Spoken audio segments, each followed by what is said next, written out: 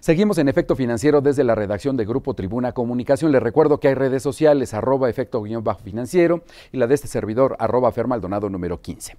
En medio de un panorama de claroscuros, se produjo el relevo en la Reserva Federal de los Estados Unidos, por mucho el banco central más poderoso del mundo. El relevo de la Reserva Federal de Estados Unidos, el banco central más importante del mundo, será histórico por dos razones. La llegada de Janet Yellen, la primera mujer en la historia en tomar las riendas de la Reserva en 100 años, y la despedida de Ben Bernanke, quien estuvo encargado de sacar al mundo de la peor crisis de su historia. Cuando se convirtió en chairman en 2006, Bernanke venía precedido por una importante reputación como estudioso de la Gran Depresión de 1929 y de la década perdida de Japón, como académico de Princeton, se pronunció a favor de utilizar todas las herramientas para revertir la tendencia negativa de una economía y fue muy crítico con Japón por la falta de decisión para implementar medidas monetarias que combatieran la deflación y la falta de crecimiento en la llamada década perdida. Cuando estalló la crisis hipotecaria en Estados Unidos en 2008, parecía que Ben era el hombre indicado para contenerla, algo que no sucedió así, por lo menos a la velocidad que él mismo hubiera querido. Sin embargo, nadie cuestiona haber combatido un evento que no tenía precedentes. Así que para 2008 el Banco Central implementó la primera versión de su programa de flexibilización cuantitativa, es decir, comenzó a inyectar dinero barato a los mercados para tratar de estimular la economía. Consideraciones como esa sobre el papel del gobierno para combatir las dificultades económicas le hicieron merecedor del sobrenombre helicóptero Ben. Luego de que en 2002 en una ponencia sobre las amenazas de no combatir un proceso deflacionario en Estados Unidos, recordara las palabras de Milton Friedman, otro renombrado economista ganador del Nobel sobre la eficacia de soltar dinero desde un helicóptero para detener la deflación. Además, revolucionó el mundo de la política monetaria con su convicción de que una comunicación efectiva de las autoridades era por sí misma un arma efectiva para centrar los ataques de pánico de un mundo que vivía horas de oscuridad. Aunque no se evitó la crisis, la presencia de Bernanke sí contuvo una caída libre todavía mayor en prácticamente todo el mundo por la relevancia del papel norteamericano en el juego económico. Efecto financiero, Abel Martínez.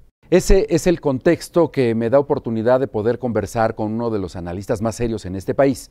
Joel Martínez, es un gusto poder tenerte una vez más en la redacción de Efecto Financiero. Gracias por compartir con la audiencia. Gracias por invitarme, Fernando. Un saludo a tu auditorio. Cuéntanos cuál es la relevancia del relevo de la Fed de los Estados Unidos, por favor. La relevancia es que le toca a una economista, Janet Yellen, eh, que es conocida como, como egresada de la Universidad de Yale, una economista que no es del corte liberal que había dominado la corriente económica del mundo en los últimos tiempos y que creo que va a hacer las cosas de quitar los estímulos cuantitativos, todo esto que llaman inyección de liquidez al mercado con bastante tiento, prudencia. ¿Cuáles consideras que serán las eh, implicaciones del término o disminución de los estímulos cuantitativos por parte de la Reserva Federal para la economía mundial y por qué se dice que esta reducción está generando distorsiones en los países emergentes? Muy, interesante la pregunta, sobre todo porque justamente el miércoles la Fed en su comunicado de política monetaria anunció la reducción de 10 mil millones de dólares más en las compras mensuales que hace de, bonos del tesoro y de bonos ligados a las hipotecas. Esto es decir que va a imprimir menos dinero, 10 mil millones de dólares mensuales menos. ¿Qué efecto tiene? Bueno, el efecto básicamente ha sido que los managers de los portafolios globales, que son los que invierten en todos los emergentes, en todos los desarrollados, lo han tomado prácticamente, en mi juicio, como un pretexto para sacar inversiones de, todos los países llamados emergentes, como cuáles, pues como Turquía, como Sudáfrica, como México, como Brasil, como Chile.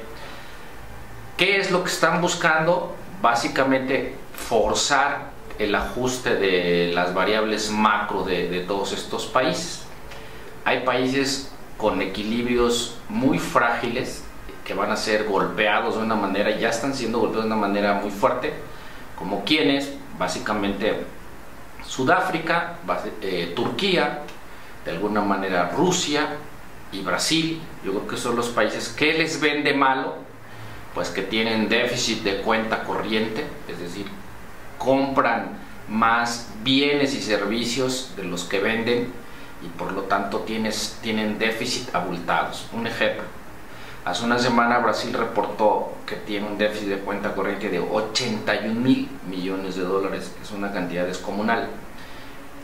Lo que va a suceder es que las monedas de esos países se van a devaluar eh, agresivamente y los activos financieros como sus bolsas, como sus tasas, se van a colapsar poco a poco.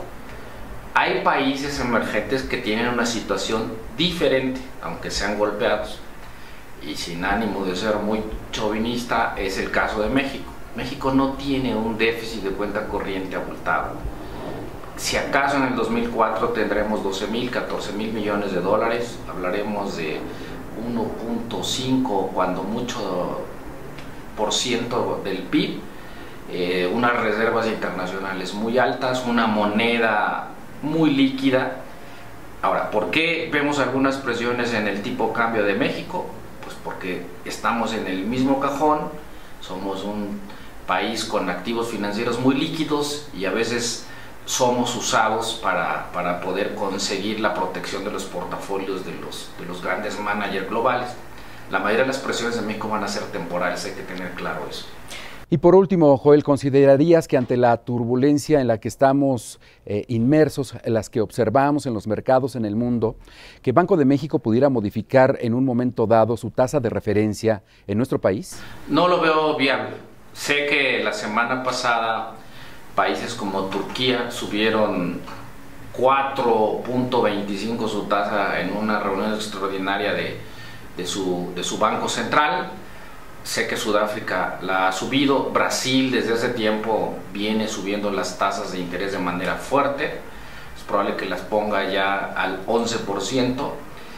El subir las tasas de interés para tratar de atajar una escalada que hay contra su moneda es a veces ocioso, yo creo que es inelástico el alza de tasas de interés a tratar de defender su tipo cambio. No es el caso de México, México no tiene razón para subir las asociadas al tipo de cambio. De hecho, si nos fijamos, cuando repunta un poco fuerte hay un temor muy grande a que el Banco de México pudiera vender reservas internacionales.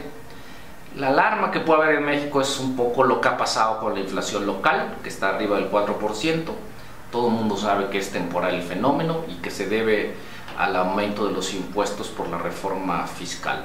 no le veo ningún riesgo. Joel Martínez, gracias por tu participación en el programa que siempre nos ilustra. Esperamos una nueva oportunidad de tenerte de nueva cuenta en este espacio. Al contrario, Fernando, muchísimas gracias por invitarme. Vamos a la pausa. Hay redes sociales, arroba efecto guion bajo financiero y la de este servidor, arroba Fer número 15. No se vaya, vamos al último bloque.